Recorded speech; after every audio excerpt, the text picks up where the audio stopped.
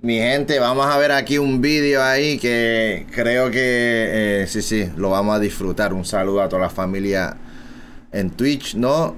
Eh, espérate, no, este no es, este no es, era este. Las mises más brutas del universo, ¿no? Se veía interesante, se veía como que divertido para verlo y reírnos un rato aquí en Twitch. No, las Misses uni son las Miss Universos, ¿no? Pero más brutas del mundo. A ver, a ver qué se trae la loca esta, a ver. que las reinas de belleza no deben ser evaluadas por su inteligencia. Otros son de criterio que estas señoritas sí deben reunir tanto atributos físicos como intelectuales. Tal vez estas candidatas que te voy a presentar a continuación no lograron llevarse la corona, pero lo que sí lograron llevarse es un lugar en esta lista, gracias a su respuesta. no lograron llevarse la corona, pero o sea, se llevaron un lugar en esta lista, ¿no? En la lista de las mises más brutas. se esto se jodió. Estas insólitas y absurdas. ¿Qué le dirías a la gente que critica y que no está de acuerdo con los certámenes de belleza? Los certámenes de belleza están hechos para personas que le gustan los certámenes de belleza. Es por ello. ¿Qué? ¿Qué?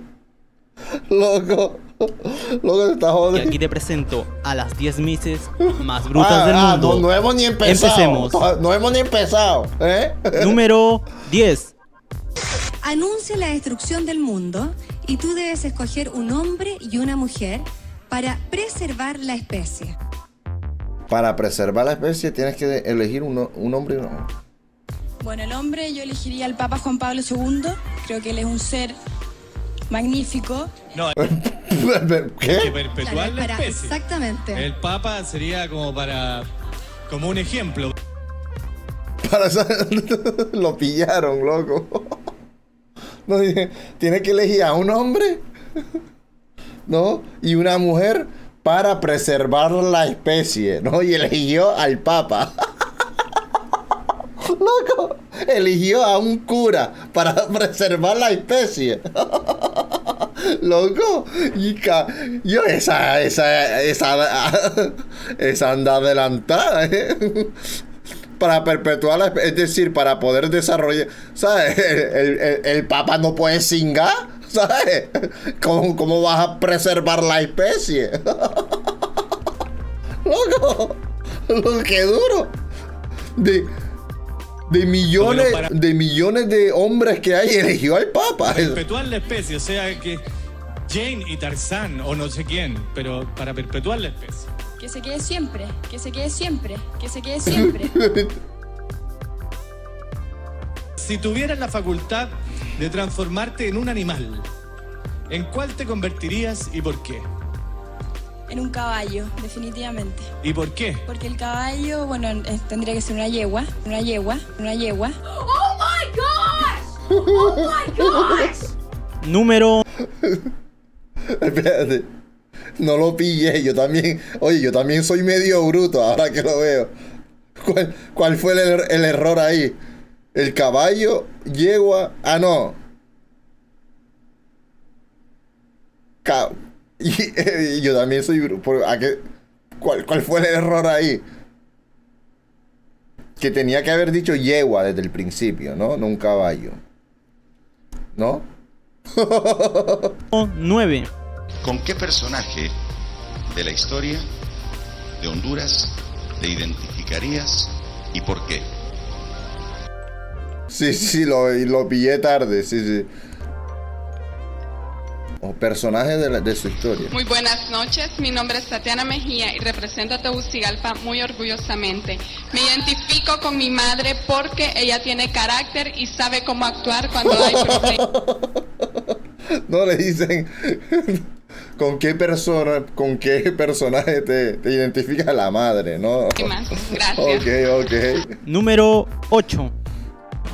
¿Qué es más importante? ¿Amar o ser amado? Buenas noches. Amar. ¿Por qué? Porque no es, eh, no es eso de... Gracias. Em, lo más importante ser es amar, porque no importa, tú te tienes que entregar, no importa lo que tú des, entregarte básicamente. Gracias. Yo creo que ni ella sabe lo que dice. Número 7. Con el programa de responsabilidad social empresarial que la organización Cisneros está implementando, ¿cuáles de esas herramientas podría, pondría en práctica en tu día a día? Espérate, espérate. En practicando responsabilidad social. Número 7. Con el programa de responsabilidad social empresarial que la organización Cisneros está implementando, ¿cuáles de esas herramientas podría, pondría en práctica en tu día a día? Pero la pregunta es un poco difícil, en verdad. Con el programa de responsabilidad social, yo tengo un plan de... Mm, mi misión aquí es dar ilusión, dar ilusión a esos niños tan bellos.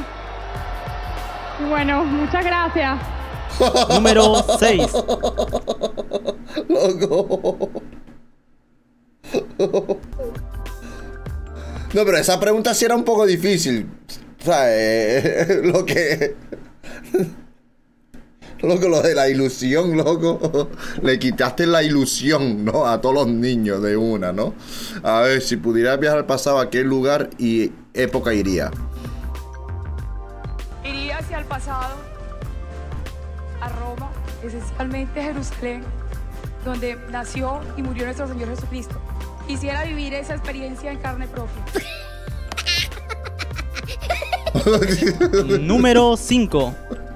Oye, Distrito Capital. ¿Qué consideras que es más difícil? ¿Pedir permiso o pedir perdón?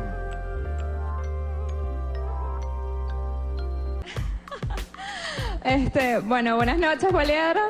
Ante que todo, yo pienso que es más difícil pedir permiso o pedir perdón. Porque pedir perdón es como que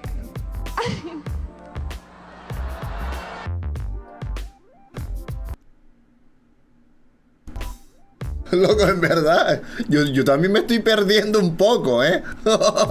yo me incluyo en la lista. No, yo me incluyo en la lista de brutos, ¿eh? Porque en verdad yo también me estoy perdiendo un poco. Como diría Gilberto Santa Rosa, es mucho más fácil pedirte perdón que haberte pedido permiso. Bueno, es difícil pedir perdón porque no, no sé. tranquila, tranquila, está tranquila. La pobre, no, no sé. Cabrón, no me pregunten más, loco. ¿Cuál de las dos cosas es más difícil? ¿Pedir perdón o pedir permiso? Ay, no. Eh, no, no sé. tranquila, Pedir tranquila. perdón. ¿Por qué? Bueno, porque la palabra lo dice todo. Uno nada más le pide permiso, perdón a Dios y el permiso se lo puede pedir a, to- a cualquier persona del mundo. Gracias. Gracias, señorita Distrito Capital. Se lo inventó. Número Se lo sacó de la manga. Dime en algunas 25 palabras, ¿qué sabes de mi país? Soy embajador de Rusia. Perdón, ¿me puedes repetir la pregunta? ¿Qué sabes de mi país, de Rusia? ¿Qué sabes de, de tu país, loco? Ya, yo- en verdad, es, es- están difíciles las preguntas. O sea, a mí me, me preguntan, ¿qué sabes de Rusia? Yo, yo, ¿qué- yo qué coño sé, ¿sabes? El vodka, el Smirnoff, y ya. Yo también estoy perdido. Bueno, esta pregunta sí está difícil. Cualquiera creo que hubiese fallado en la... Sí, Bueno, sí. pues sé que es un país donde... eh, Pero, la, pero lo que da risa es que ellas intentan responder bien, ¿sabes? Como que quedar bien. Eso es lo que da risa, ¿sabes? Que las preguntas están difíciles, pero la de antes, la de dar ilusión a los niños, ¿no? Por ejemplo. vive gente maravillosa eh, que... Vive gente maravillosa. loco. Ok, ok.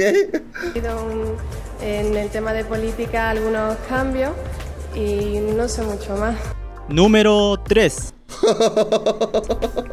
La pregunta dice, si usted tuviera la oportunidad de que se le cumplieran tres deseos, ¿cuáles serían estos tres deseos? Tres deseos. Primeramente, estar con mi familia, tener mucha salud y ser muy inteligente. Número 2. Ser inteligente, ¿no? Uno de los deseos. Porque no lo es, ¿no? ¿Usted cree que la mujer es el complemento del hombre? Buenas noches para todos. Yo creo que el hombre se complementa al hombre, mujer con mujer, hombre con hombre y también mujer a hombre del mismo modo en el sentido contrario. ¿Qué? Y estamos para darnos cariño, para darnos amor y la mujer es el complemento del hombre en un sentido muy bello. Porque le da amor, también le da el cariño. El mundo está evolucionando y cada vez le damos más amor a los hombres que en el caso colombiano alguna vez fueron machistas. Número 1. ¿Qué, ¿Qué coño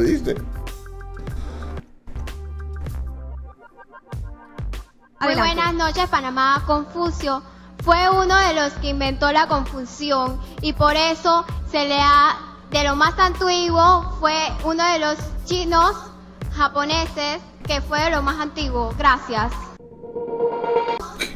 Se le ha Confucio.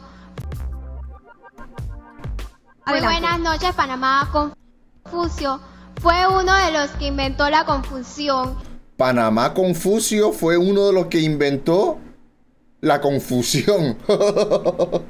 y por eso se le ha, de lo más antiguo, fue uno de los chinos japoneses que Loco, está chunga la cosa, ¿eh?